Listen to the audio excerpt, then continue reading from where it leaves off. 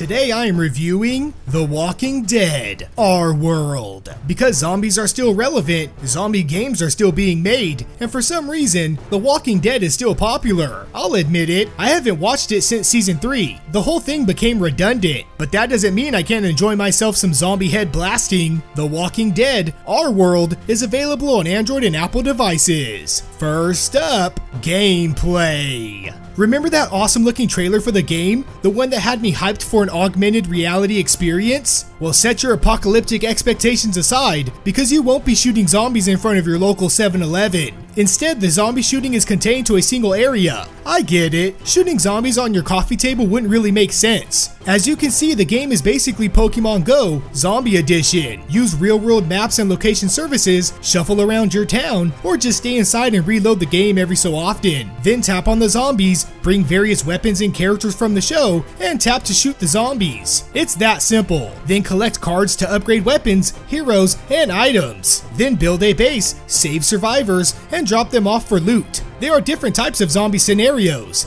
Infestation is a series of stages, clear them for massive rewards. The game also has you team up with surrounding players, use a flare gun to call for support, and complete weekly challenges. There are also specialized missions to destroy raider camps. Again, the shooting is simple, yet the game really shines in these moments. Throw some grenades for added damage, take Michonne for slice and dice fun, and upgrade your machine gun for spray and pray capability. It's these moments of zombie headshots that give the game somewhat arcadey fun elements. However, this game is nowhere near original, just like the show it's based on. Yet I did enjoy this Go clone more than Jurassic World Alive, so it has that going for it. Altogether, it's Pokemon Go for the Walking Dead fanatic. Next up, graphics. Visuals that are far from undead, character models with death in their eyes. For the most part, the graphics look great, the maps look like a map, yet the representation of your characters and the surrounding chaos is pleasing to watch. This gives the game a sense of placement. The undead battles are also great, the zombie models are worthy for mobile,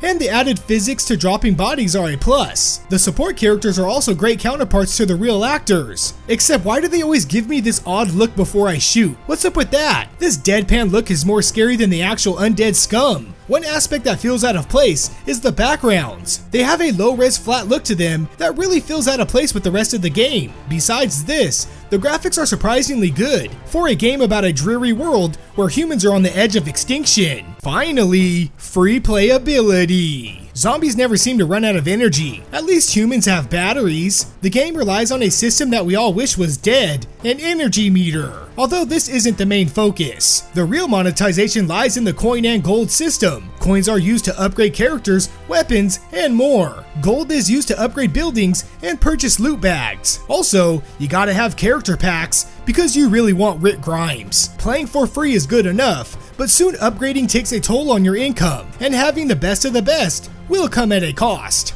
Then again, The Walking Dead is about scarce resources, so don't spend your real money and treat the game like you're really in a zombie apocalypse. So Pokemon Go clones are more rampant than a Rattata infestation. We even have a Harry Potter one coming soon. So how does this one stand out against the crowd? Is it a download it, a give it a try, or a waste of space? The Walking Dead, our world, shoots, upgrades, and survives its way in as a, I guess, give it a try? The Walking Dead. Literally walk around and shoot the dead. The gameplay is cloned with a touch of fresh. The graphics are a wide-eyed walker, and the free playability is a scarce resource. At this point, I'm not really a fan of this genre. It's not the walking part, more so the redundancy of it all. Yet this game tries a few things new while maintaining the go-go feel. It's the arcadey shooting and crippling headshots that made me even consider taking on more zombie foes. Plus the added graphical fidelity made it fun to watch. Heck, I'd rather aim my video game weapon at a rotting walker than aim my eyeballs at another episode of The Walking Dead. For the most part, it's a serviceable game. Some might like the bloody approach to this genre, so if you're a Walking Dead fan, a walking fan, or just a fan of undead shooting, then go ahead and give it a try. Or if this is your first foray into the GPS Go genre and don't mind the Walking Dead skin, then I guess, why not, give it a play. As always, thanks for watching Tiny Little Games. Please subscribe to support my channel, like for more reviews, and ring that notification bell for video updates. Fun fact, the first zombie game was released in 1984 and was called Zombie Zombie. Isn't that crazy?